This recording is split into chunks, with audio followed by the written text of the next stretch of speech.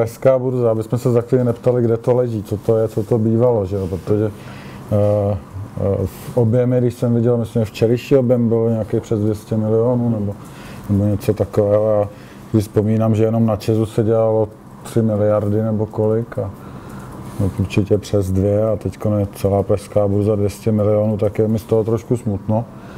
Uh, nicméně jako úplně investičně pro drobného investora to zakázané území není. Jsou tady tituly, které já třeba osobně v portfoliu mám. Mám v portfoliu Pegas, mám v portfoliu i ČES, Erste Bank, když to není úplně český titul, ale jakoby, že investovat se, investovat se dá, určitě teď jsem vyjmenoval ty tituly, které mě osobně přijdou nejsmysluplnější možná. Teď trošku přemýšlíme ohledně Česu, ale pořád si myslím, že, že ještě eh, ten potenciál má, zejména proto, že já vždycky rád si vybírám firmy, které mají nějakou konkurenční výhodu. Eh, teď víme, že energetický trh v Evropě eh, je, bych to řekl slušně, trošku v nepořádku, nepořádku tak samozřejmě mají velké problémy ty velké německé koncerny jako Ion, RWE, a přece jenom Čes je tak velké, ty problémy nemá. Přece jenom uh, je schopen vyrábět uh, levněji. A ono, já si myslím, že ta situace se otočí. Přece jenom i v těch emisních povolenkách, i v té energetické politice Evropy je potřeba s tím něco dělat a až se s tím něco udělá, tak uh, ten čas zase bude vydělávat mnohem víc než teď. Jo, takže takže je to o tom, je to opak eh, třeba NVR, firmy NVR, která naopak má nejvyšší těžební náklady daleko široko, nebo prostě obecně, když se, když se dá do, eh, do nějaké škatulky těch těžebních společností, tak vidíme, že to je ten, kdo v případě problémů nejdříve vypadává. Jo, a to je, to je zase ta špatná investice i v době, kdy je, kdy je na vrcholu tahle ta společnost, kdy prostě ty ceny uhlí třeba byly vysoké, tak přesto jako jsem do toho neinvestoval, nebo neinvestovali jsme do toho, protože to nedávalo smysl z hlediska těch konkurenčních výhod. A to je, bych řekl, taková jedna z hlavních, hlavních věcí, na kterou by se analyticky nebo analytik měl koukat pro to dlouhodobé investování. Možná Lukáš mě ještě něco doplní. Lukáš by mohl doplnit třeba analýzu Tatry na můj, můj, můj oblíbenec.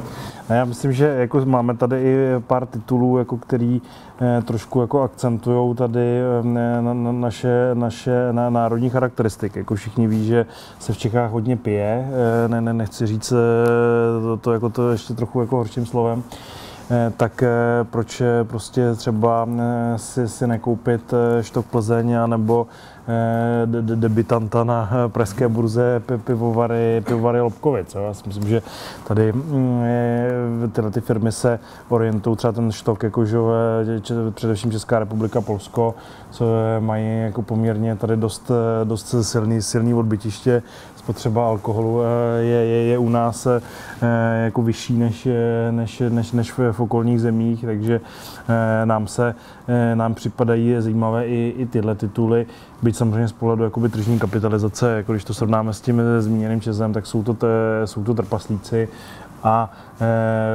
měli by mít i tomu aspoň trošku odpovídající zastoupení je zastoupení eh, v, v portfoliu. Jo? To znamená, že bych tam měl být o trochu méně než, než, než, toho, než toho Česu. Jo? Takže to jsou možná dva takový, jako dvě takové věci, které eh, stojí za zmínku.